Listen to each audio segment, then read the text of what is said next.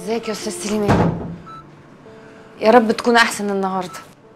بعد ما شفتك بقيت أحسن. والله أنا حاسة بالذنب من ساعتها. ذنب؟ أنت رديتي فيا الروح. أنت مش عارفة أنت عملتي فيا إيه. ما تجربي ترجعي شعرك على ورا.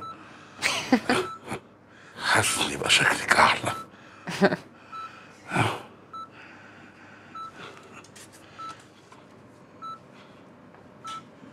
متأكدة انها مش قريبتك لا متأكدة.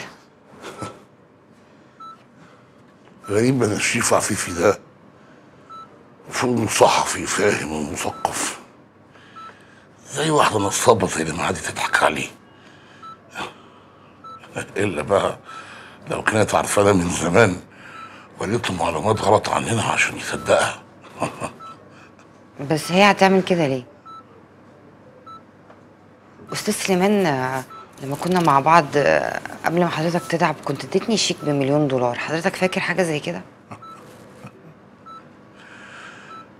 أنا مش بخرف يا فريدة اديتلك الشيك ده بكامل إرادتي.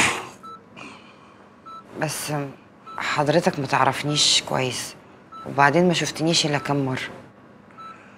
يمكن بقى الموت بيعرف الناس ببعض كويس.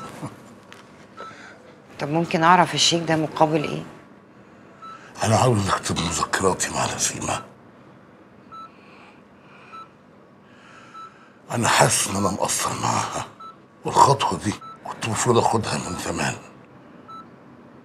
بس كل شيء بقى وين بقى؟ نفسي العالم كله يعرف حكايتنا. وعاوزك أنت تكتبي المذكرات دي. بس أنا ما عنديش وقت وأنا خلاص حجزت تذكرتي ومسافرة يلغي كل كمان. الكلام ده؟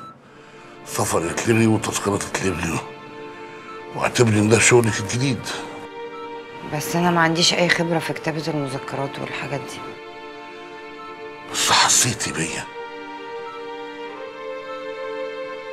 وعشت الموضوع معايا.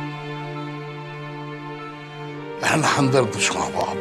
واللي هتكتبيه يبقى أستاذ حجاز الصحفي يصيغه هو بطريقته. ها؟ إيه رأيك؟